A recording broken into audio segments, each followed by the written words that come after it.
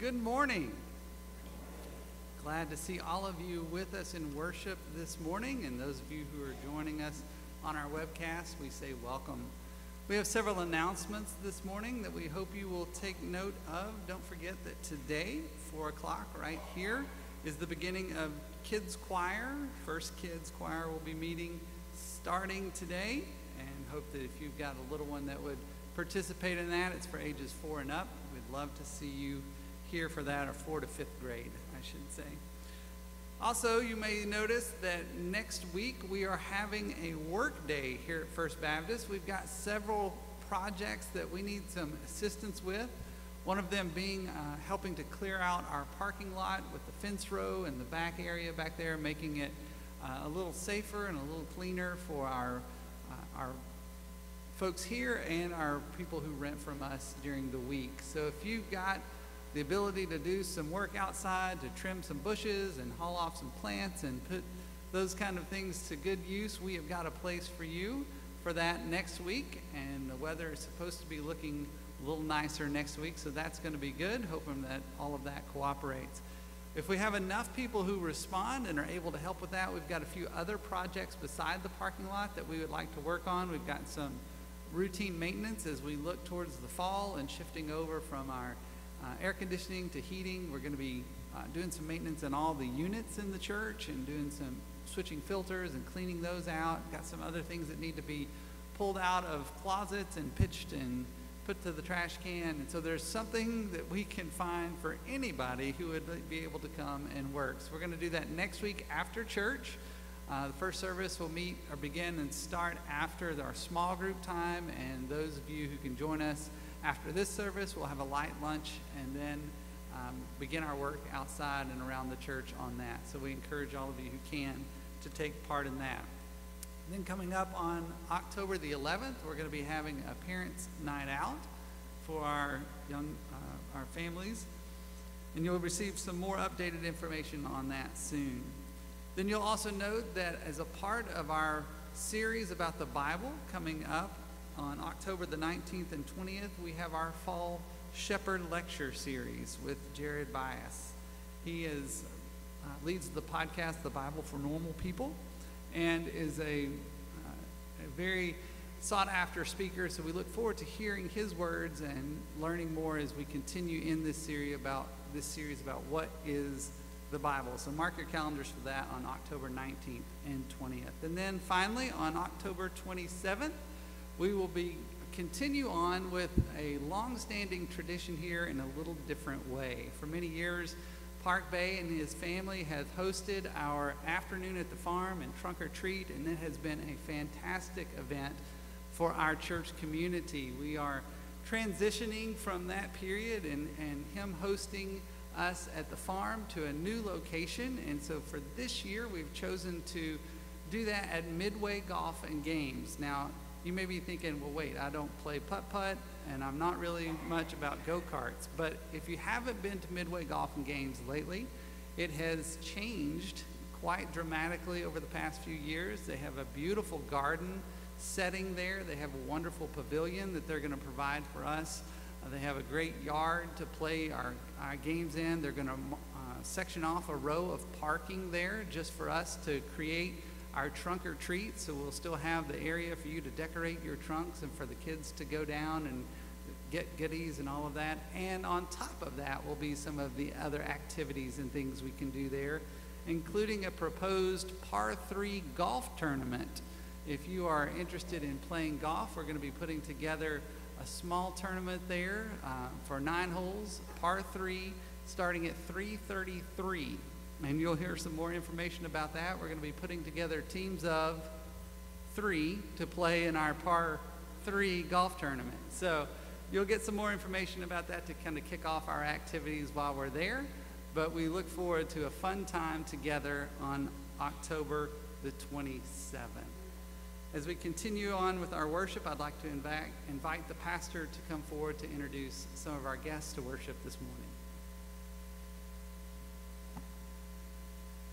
So Marcus Ruff, our interim director of music, is out today, but I have already heard a lot about him today because I know many of you were here Friday night for the Odyssey concert, Freedom Bound, which he headed up. And we're so grateful for him uh, for doing that and heard it was a wonderful, wonderful evening of uh, music. And so today uh, we are delighted to have some guests that took part in that Odyssey concert and will be leading us in worship today. Dr. Brandon Boyd is here today and will be our guest pianist. Um, Dr. Boyd is the Assistant Director of Choral Activities and Assistant Professor of Choral Music Education at the University of Missouri, and we are delighted to have him leading us today. And also, we are grateful today that Dr. Jolie Rock was willing to stay over and lead us in worship today as well. Uh, Jolie Rock is a native New Yorker and renowned soprano, and she shares the gift of song around the world. She has performed as a feature soloist in opera and concert tours of the U.S., Europe, and as far as North Queensland, Australia.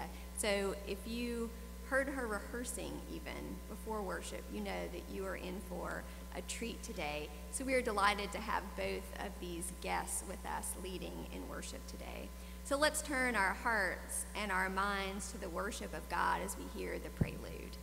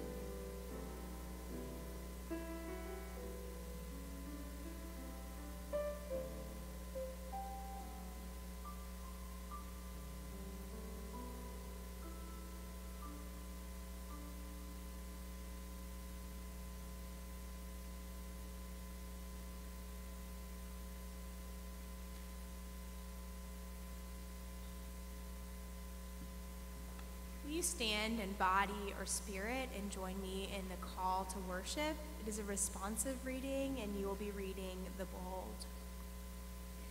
The word you spoke and keep speaking, O God, is the life, the sustenance of all that is seen and unseen. The life you gave and keep giving, O Christ, is the recreation, the renewed birth of every broken, wounded creature.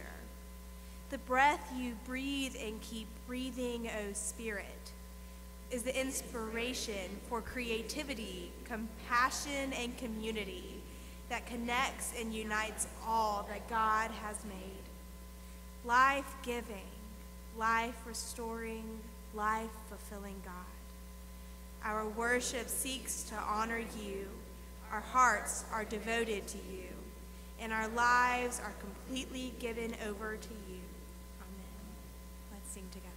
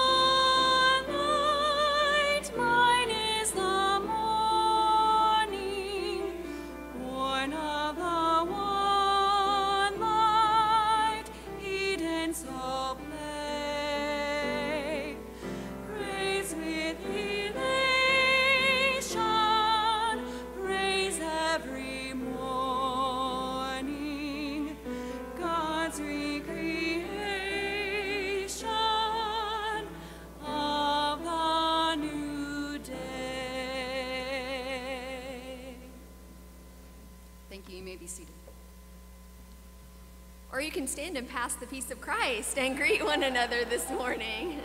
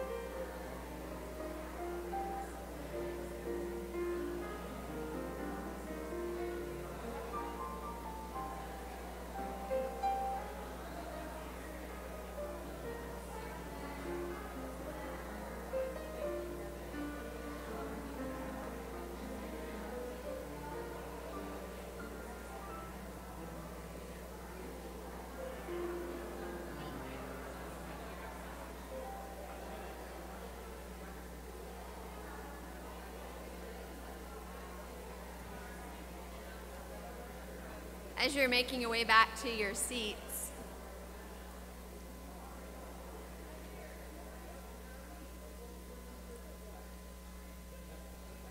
if you're visiting with us, we are in the midst of a sermon series entitled, What is the Bible and What Do We Do with It? We've been thinking about and talking about how we define the Bible, the purpose of the Bible. Uh, we've been doing some deconstruction of the Bible and then reconstruction of the Bible. And so, for the last couple of weeks, we've been doing this affirmation of faith, talking about the uniqueness of the Bible. And so, I invite you to take your bulletin and join me as we say in unison this affirmation of faith. We believe the Bible is unique. God breathes life into the scriptures and through it into our community of faith and our very souls. We believe the Bible has a unique role in our community resourcing, challenging, and guiding us in ways that no other text can. It teaches, reproves, corrects, trains, and equips us for love and good works. We confess the Bible is sometimes confusing. At times, it can be disturbing, and we do not pretend to understand everything about it. Yet, we commit to meditate on the Bible to study the words within and to wrestle with our questions and doubts, believing that when we do, God will bless us richly. Will you stand and sing the hymn in our uh, program? Sorry.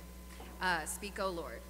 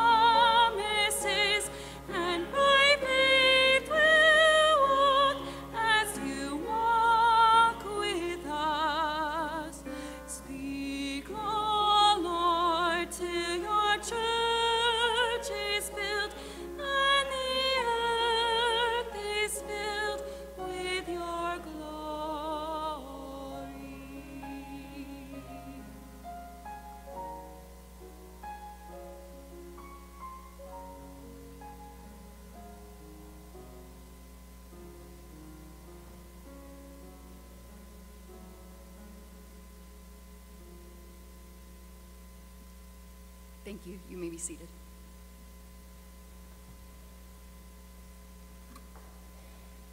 Will you join me in our prayer for illumination? It is a unison reading. O God, may your spirit awaken our imagination and devotion, so that as we read the words of Scripture, the people, events, and teachings may spring to life and allow us to meet you face to face.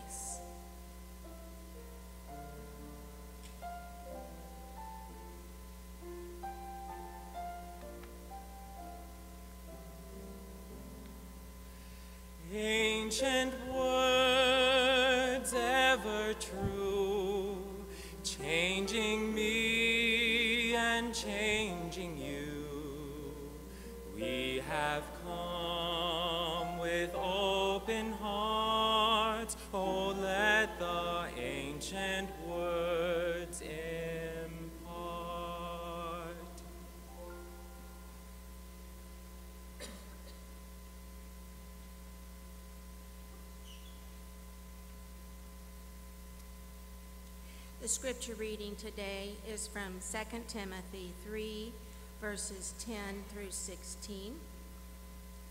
Now you have observed my teaching, my conduct, my aim in life, my faith, my patience, my love, my steadfastness, my persecutions, and my suffering the things that happened to me in Antioch, Iconium, and Lystra what persecutions I endured. Yet the Lord rescued me from all of them. Indeed, all who want to live a godly life in Christ Jesus will be persecuted. But wicked people and impostors will go from bad to worse, deceiving others and being deceived. But as for you, continue in what you have learned and firmly believed, knowing from whom you learned it and how from childhood you have known the sacred writings that are able to instruct you for salvation through faith in Christ Jesus. All scripture is inspired by God and is useful for teaching, for reproof, for correction, and for training in righteousness.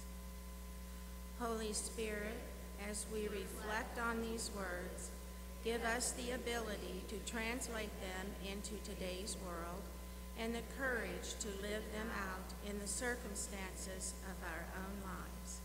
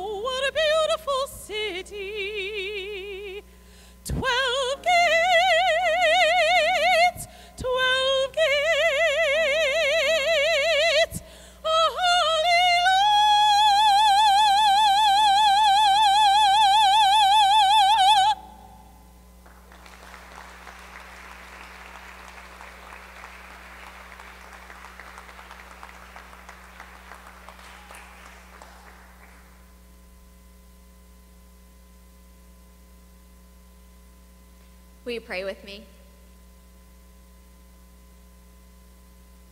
God, as we turn our hearts and our minds to your word, we ask you, Lord, to speak. For your servants are trying to listen.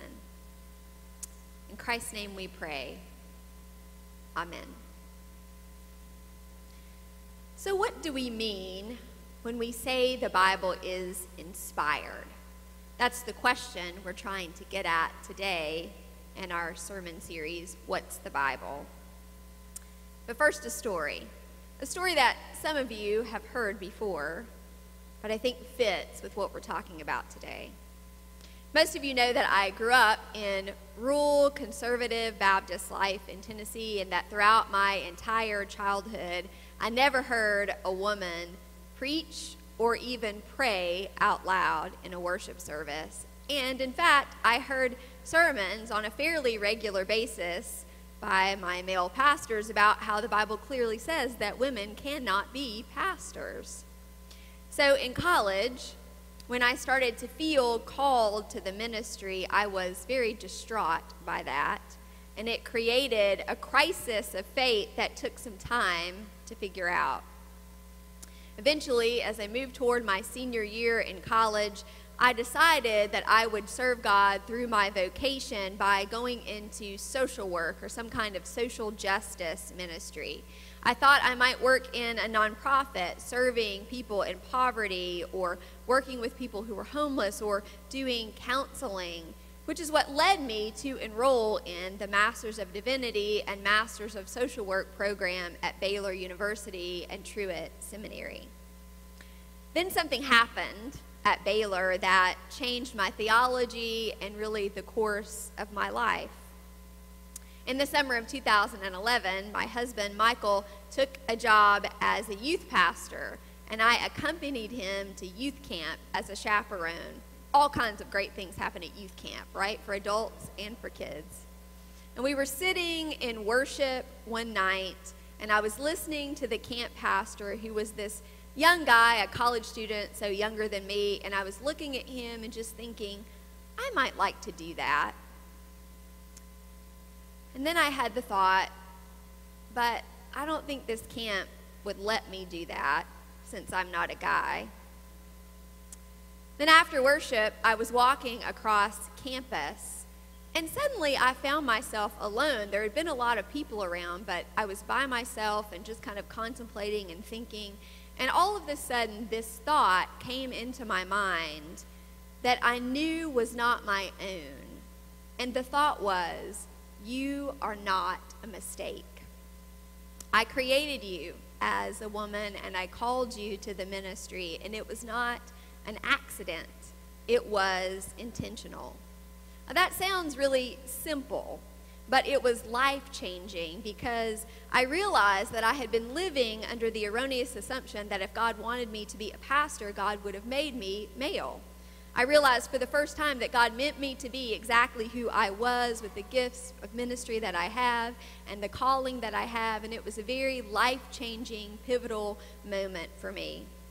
So hold that story for just a moment almost all the language that we use to describe the Bible comes from outside the Bible because the Bible just doesn't talk about itself that much.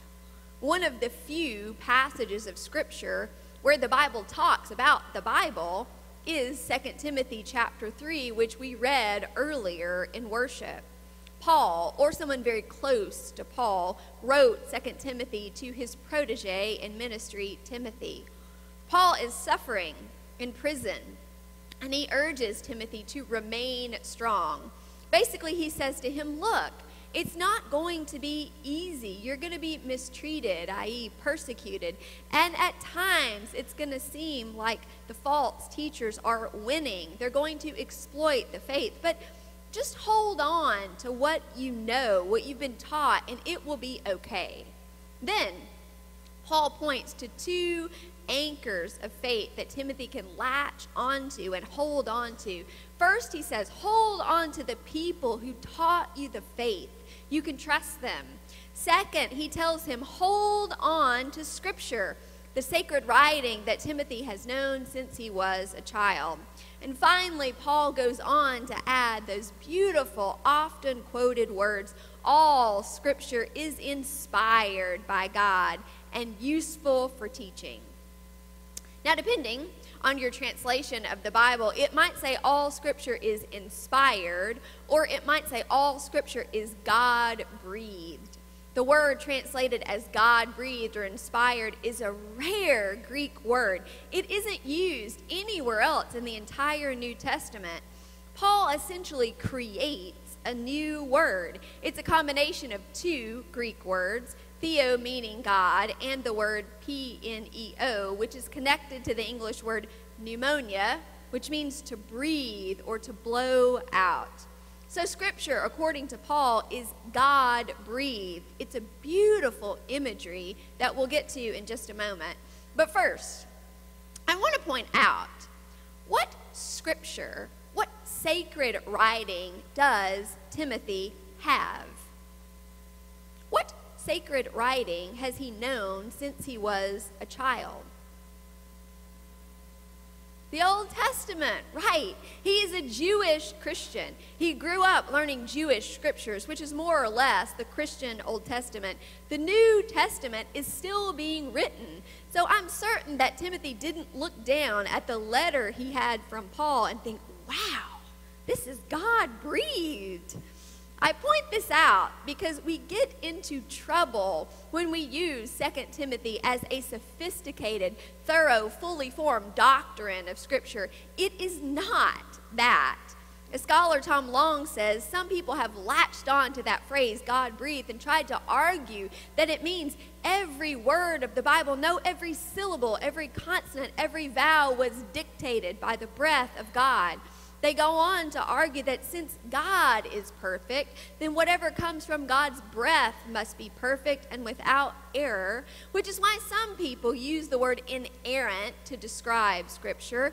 But then others counter that argument and say, but wait just a minute, there are some errors in the Bible. There are errors of scientific and historical fact, errors of grammar, and then people counter that argument and say, well, if there are errors, it's only because the scribes who recopied it made the errors. They're not in the original writings, which conveniently we don't have, right? All of this is to say, any attempt to create a full blown, fully formed doctrine of Scripture from 2 Timothy just doesn't work that well because that's not what it is. Some of Scripture had not even been written yet. At the same time, it is instructive, I think, and important. So, what does Paul mean by God breathed, by inspired?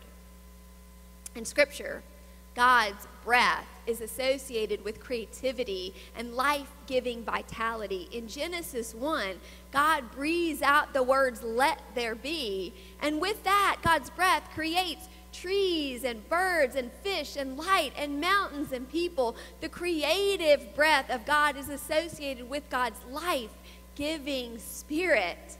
Brian McLaren says, think of the difference between a corpse and a living, breathing body. And then you'll begin to be- get the difference between a bunch of words on the page and words vitalized by God's creative breath. They come alive, if you will. In his book, What is the Bible? Rob Bell gives us another way to think about this same thing. He says, You and you and you, you're made up of skin and bones and blood and hair and brain cells. These different parts of you comprise your physicality, your body, your thoughts, your material essence. And yet, it's not what makes you you. You also have a spirit and a conscience. Bell says when we talk about the spirit of something, we're naming the reality of whatever it is that transcends the physicality. You are your body, but you're more than that. You're your spirit too. So the Bible is more than just words on a page or just another book. The life giving spirit of God energizes it and brings it to life. There's more there than what meets the eye. Still, This doesn't tell us exactly how the divine and the human come together to produce the Bible. For that, Brian McLaren offers another analogy. In his book, A Generous Orthodoxy, he writes I am a human being with a name, and like every other human being, I'm both a creation of God and a procreation of parents who, in partnership with friends and teachers and authors and culture, help make me who I am today. The way God willed to create the me I am today is through a complex synergy of biology and community and history, plus my own will and choices and the like. Those parental origins, these organic means, these social and historical contexts do not decrease in any way the reality that God is my ultimate creator, the one who through all things and mediums said, Let there be Brian. In a similar way, Scripture is something God has said, let it be. And so it is at once God's creation and the creation of dozens of people and communities and cultures who came together in a creative process. It is a both and. Still, you may be wondering, but how does this co creation work on a practical level, Carol? At the practical level, I believe the divine and the human partnership which brought the Bible into being worked then kind of like it does today. And here's what I mean by that. On a few occasions in my life, I have felt like God spoke directly to me. Like when I heard the voice of God say to me, You are not a mistake. I created you as a woman and I called you to ministry. I knew that thought did not originate within me. I had no frame of reference for that thought. I knew that God spoke to me and it changed the course of my life. At the same time, that's not typically how my life works. Most of the time, my life is a mixture of my own sort of sound decision making using my mind, my best judgment, the input of trusted friends and families. I make decisions, I make my way, believing that the Spirit will let me know if there's something specific that God wants from me. This is how the co creation of my life happens.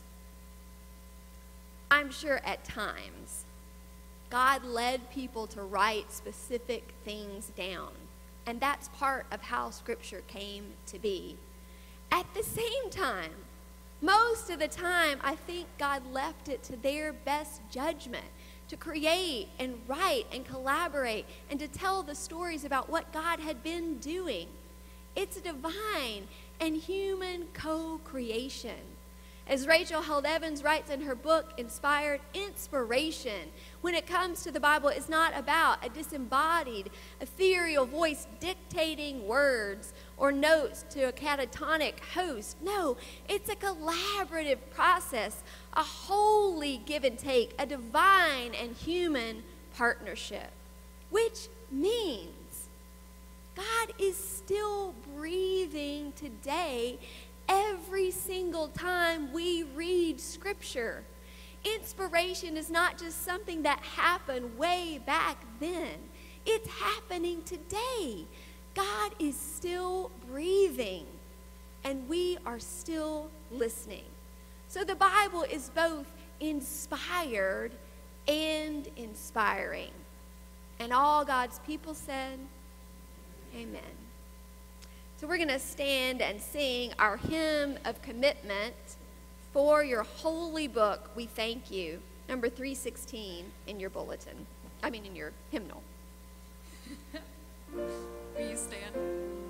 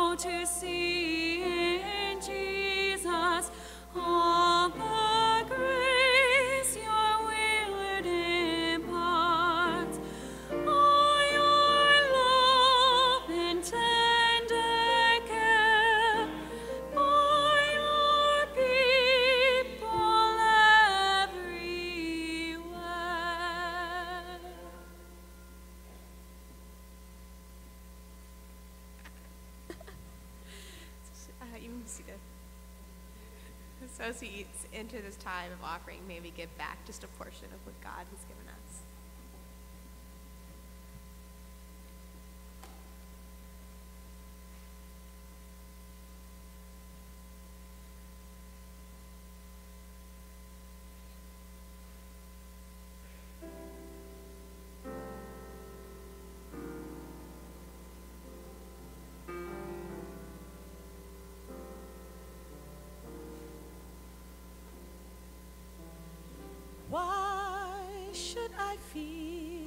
discouraged.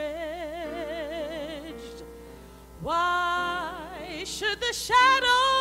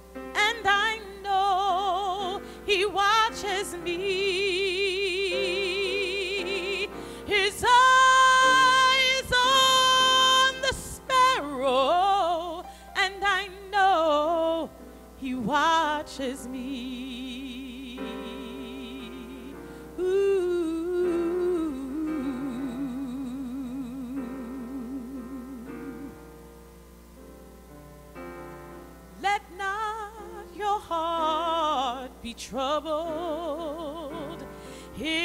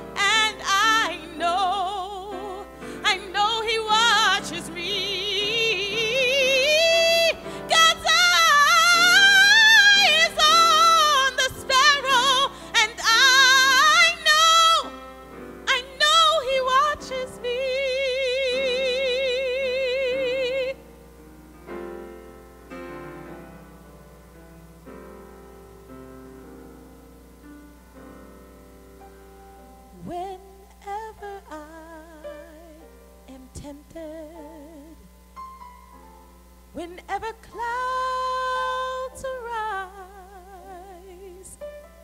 when songs give way to sighing, when hope within me dies, I draw the closer to